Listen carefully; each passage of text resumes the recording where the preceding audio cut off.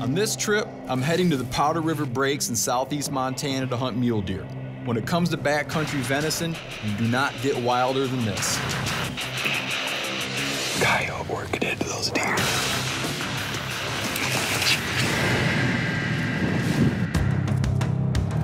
I'm Steven Rinella. To me, hunting isn't only about the pursuit of an animal. It's about who we are and what we're made of. It's about sustenance, survival. It's about connecting to the land. It's about the purity of the challenge. It's about life. In each and every one of us, there is a primal instinct to hunt and consume. I live to hunt and hunt to live. I am a meat eater.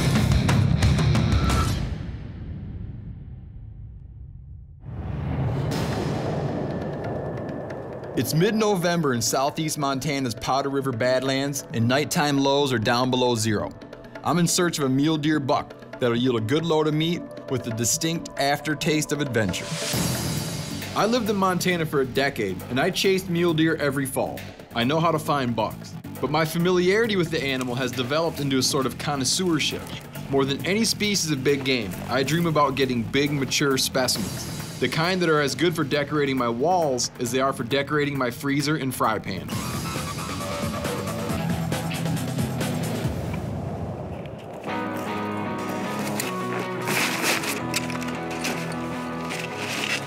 Whenever I hunt in Montana, I always go with my brother Matt. And this time, our good friend Matt Moison is joining us as well. And yes, that is a van full of llamas.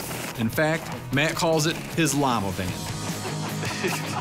Man, that spit does smell though, man. I think maybe I'd rather get kicked. Oh yeah. They'll help us pack out whatever meat we're lucky enough to get. Also, they'll help us get our gear back into an area where few other hunters visit. we got an area. Doesn't get much pressure, if any at all. This area is super rugged and pristine thanks to smart land management decisions that have limited roads and vehicle access. But we still need to hike as deep into the stink as possible.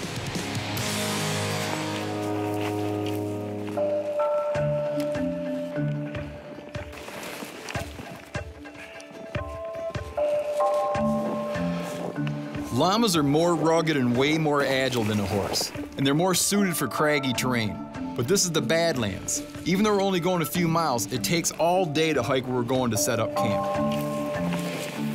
By the time we set up our campsite, it's already dark.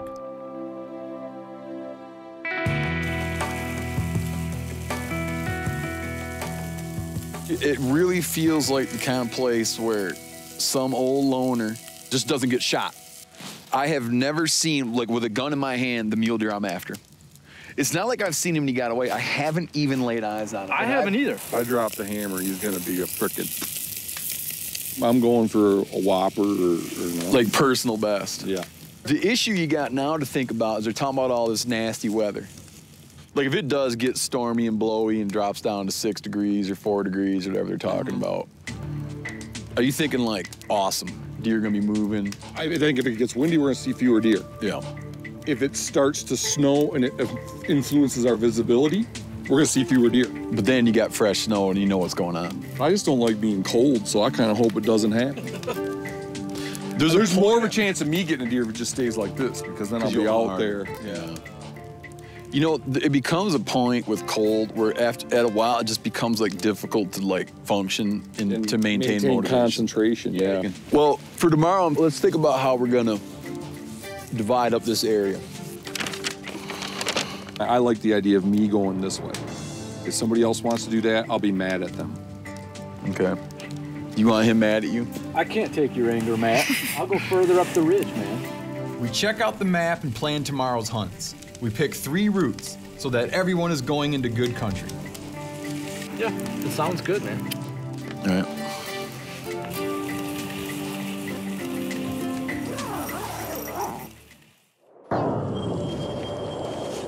During the night, we got dumped on by a little more snow. But the main thing is it got way cold. This morning, it's just bitter. But we wish each other luck and head out on our separate hunts. We'll leave the llamas behind to do their preferred activities, standing around and eating. Hopefully later, I'll need one to carry out a big pile of buck meat.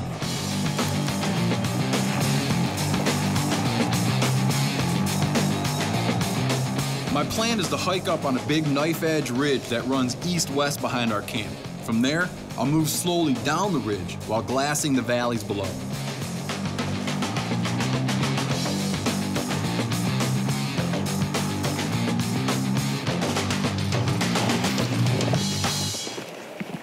It's fresh snow. It's blocking the air a little bit, but you can see deer on that white real good.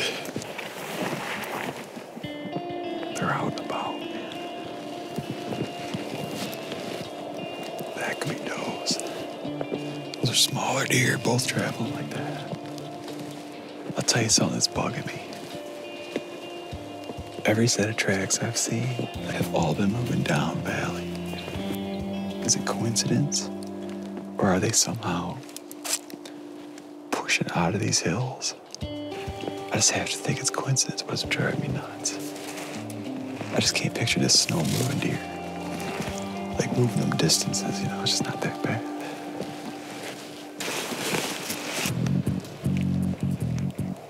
Judging by tracks, it looks like this ridgeline is the nexus of deer activity, but I haven't seen one.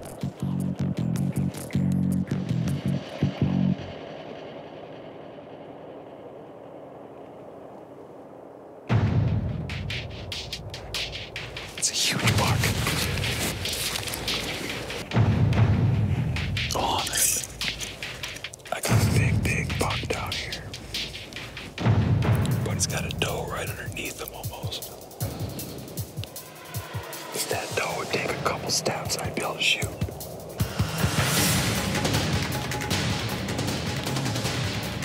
There she goes.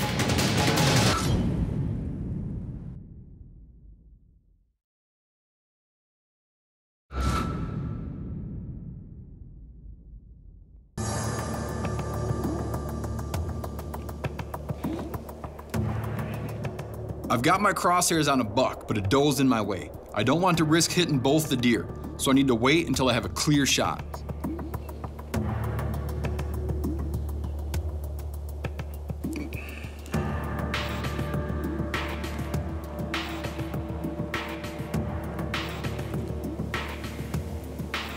There she goes.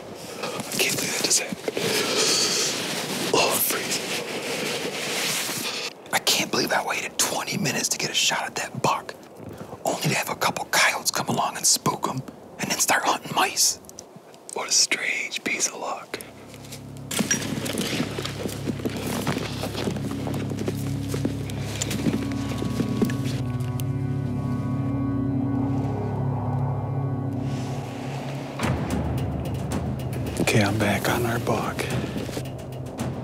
The deer made a giant U shape and ended up coming back my way, but this time they're on the opposite side of the canyon.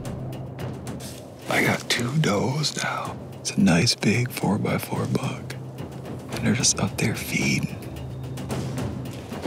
This could still happen. I don't like that distance, though. I would like to get where if I saw them, I'd have a reasonable chance of putting a stalk on them. Right now, there they are. Way too far away. The morning is past and the wind's picking up. I watch the buck drift into a thicket of ponderosa pine and vanish. I know that buck is bedded somewhere in there. Imagine it like, you know, here's a ridge. Those deer somewhere in here, maybe. I'm down here. I probably should go like this to get upwind of them.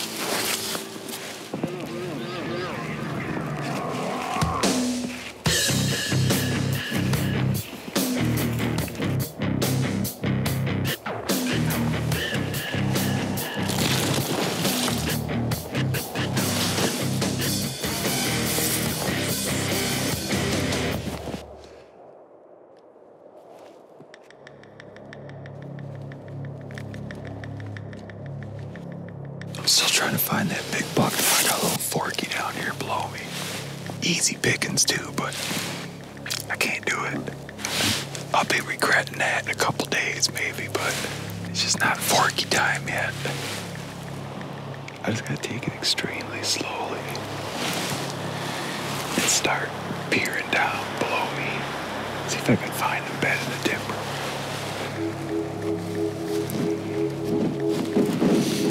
There's those two does right there. Very close. I just gotta hold tight for a while. The buck hasn't come through. My guess is he's still bedded down. I'm gonna run out of daylight. See if I can find where that big buck's bedded down. I got a good strong wind. I don't gotta worry about him smelling me. So my plan is to back away from the ridge, move down and pop back up again, then back away, move down and pop back up again, and repeat that until I find where the buck is at.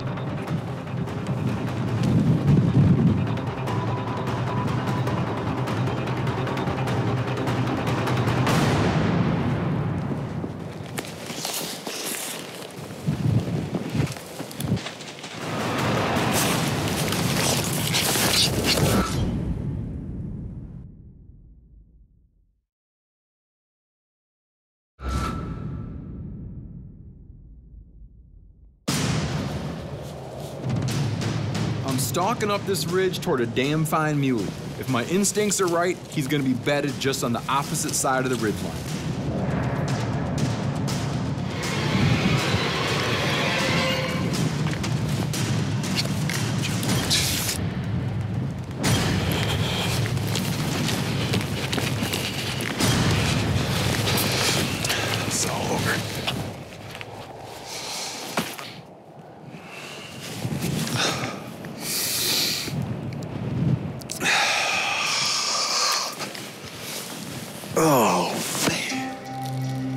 I spent all day getting in the perfect spot, and now I ended up spooking a beautiful mule deer.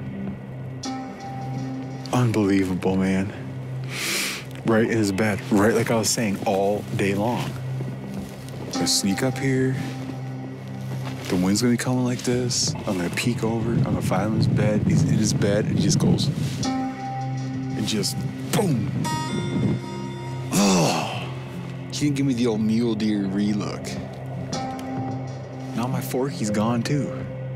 It's like fine. I'm owning up to it. I'm being a total baby right now. Am I gonna quit hunting? No. Do I know why I go hunting? Yes.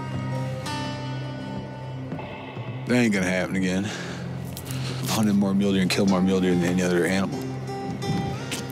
It's just I like mule deer, man. I like eating mule deer. I like looking at mule deer. I like stalking mule deer.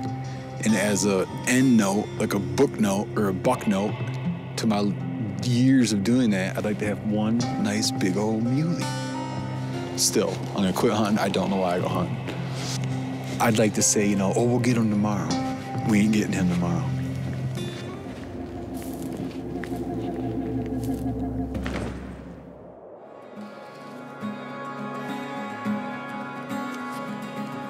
In the morning, the weather's completely different all over again. Now there's a kind of weird misty sort of fog hanging in the air, and it's cold, cold. It's just not ideal hunting weather.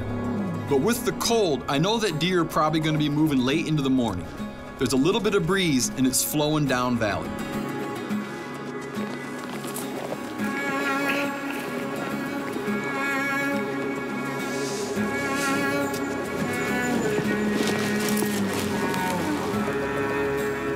I've been thinking since last night. I wanted that big buck bad. I mean, that buck was a cool looking buck. I would have loved to have gotten it. But now, with the weather being like this, I'm changing my strategy and I'm changing my goals. I had my chance at a good buck, and now I'm not in a position to turn down a small buck. I want mule deer meat, and I'm out here hunting mule deer. If I can find a branch antlered buck, I'm gonna go after him.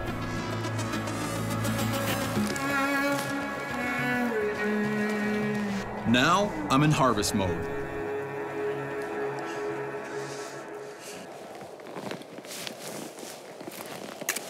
Multiple deer moving through here. They're feeding under these trees where it's sheltered. So.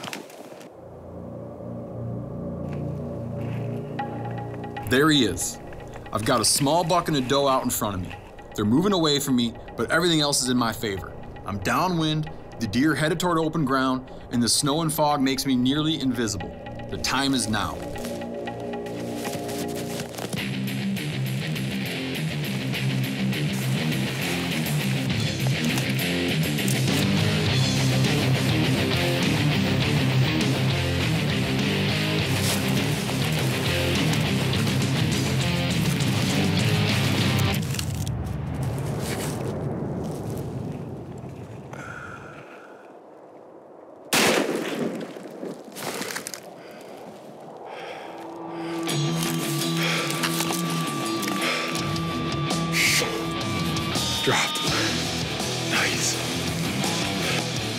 Gotta take what you can get. I got super lucky.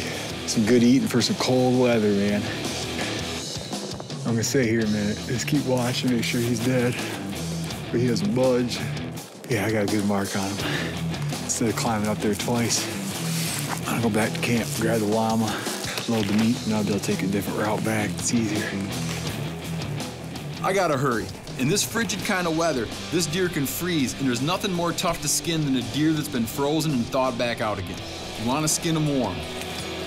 Magil, come on. Come on. Come on, girl. Come. Magil, come.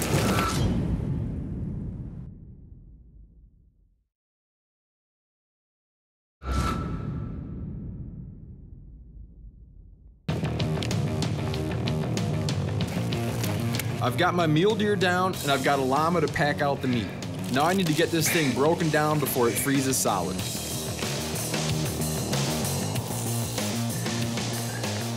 During the rut, like right now, you gotta be really careful about these metatarsal glands back here. There's one on each side, you just wanna get rid of them. A lot of people talk about gamey meat, like a ruddy buck. A lot of times they're getting that gland material on their knife and on their hands, and then they're handling the meat. It's just surface contamination. That stuff gets on everything. It's just good to get rid of that.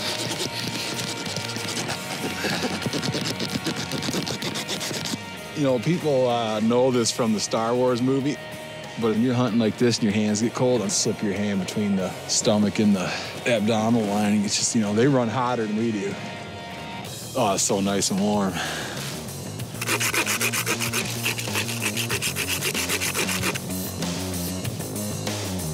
Or the loin ends at this hip bone here, real sharp hip bone.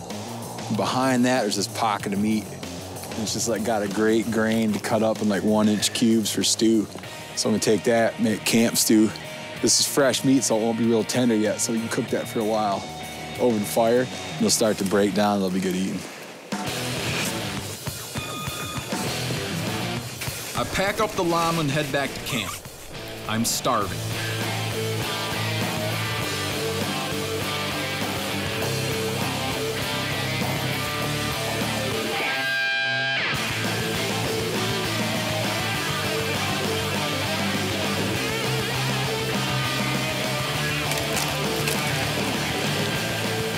I got back in time. I beat those guys in, which is cool. So I'm gonna make up some food. I'm just taking those rump pieces off that deer. The meat's gonna take a while to tenderize. First thing I wanna do is cut my little cubes up, little cubes of meat like that big, rump meat. Normally I'd brown these cubes of meat in oil, but I don't have any oil. So what I'm gonna do is start piling in snow, and it'll melt and slowly simmer the meat and break it down. I don't have anything with me. I got some root vegetables, an onion, meat. It's still gonna be good.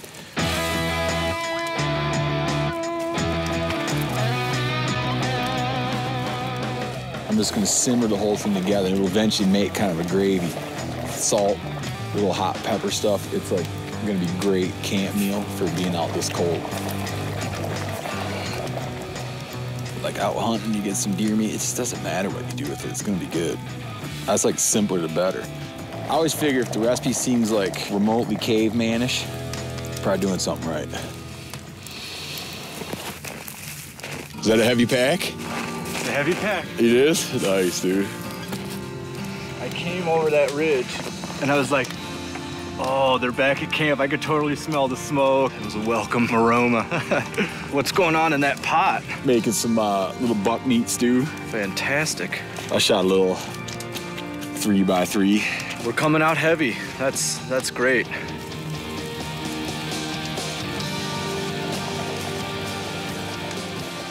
In the end, I did not get the big buck of my dreams, which is nothing surprising, since I've been hunting mule deer out here for well over a decade and I never have. But I often ask myself, if I did get the big buck of my dreams, then what would I be dreaming about?